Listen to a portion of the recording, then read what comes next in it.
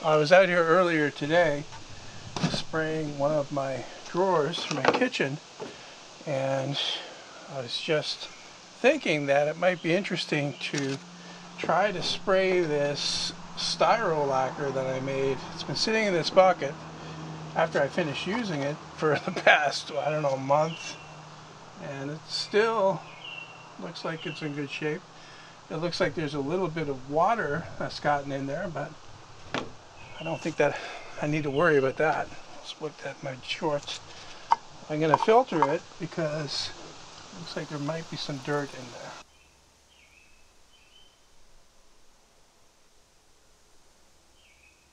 there. Okay, it looks like there is some water on the top and this cup is starting to dissolve actually so I gotta move fast. Um, there's still a little bit in suspension it looks like but what I'm going to do is I'm going to poke a hole in the bottom of the cup and that should get the cleanest stuff out. Okay, well, I had it half full and then I dropped it and it splashed all over me, which is awesome. So I've probably only got a quarter cup left in there now, but it should be enough for what I want to do.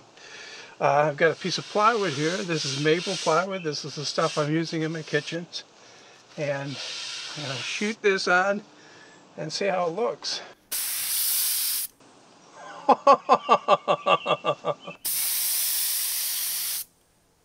Wicked.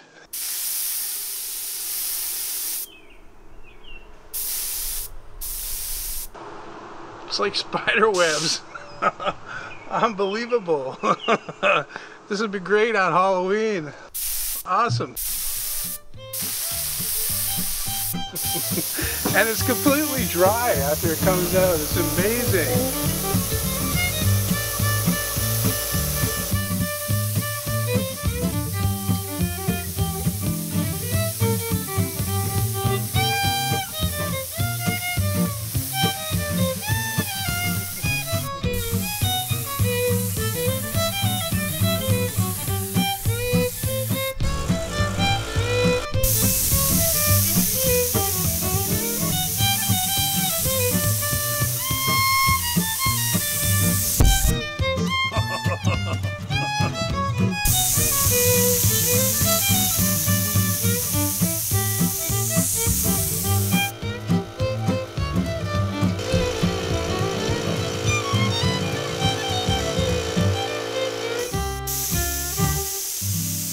So yeah, this is quite unexpected. Wow, I got it all over my glasses, all over my face.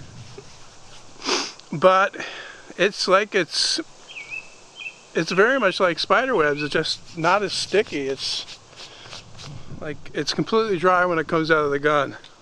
Incredible. Little piece on the lens.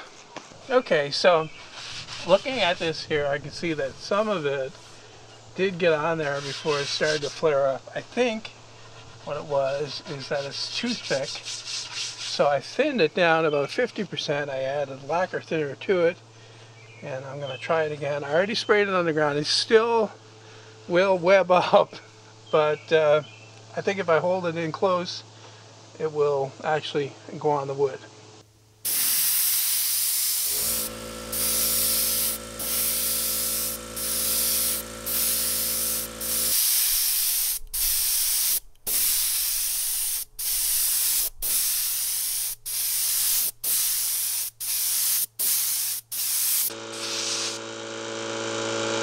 Going on there, but the overspray is a killer. okay, well, I guess that one's a bust. I think it'll be okay if you brushed it on and then let it dry and then sanded it and then gave it another coat. Um, what I said in the beginning was that it wasn't a very high grade finish anyway. It was just something really from nothing. You take the styrofoam, you dissolve it in the lacquer thinner. In my case, I used lacquer thinner that was used. Uh, it was stuff I was cleaning blades with. It was already contaminated. So that's a good use for it. I've tried gasoline. A lot of guys suggested gasoline as a cheaper alternative. Gasoline doesn't melt it as aggressively, but it still does melt it. Just for the sake of the video, I thought I would do the lacquer thinner because it looked more dramatic. So anyway, that's it for this one. I hope you enjoyed it and see you next time.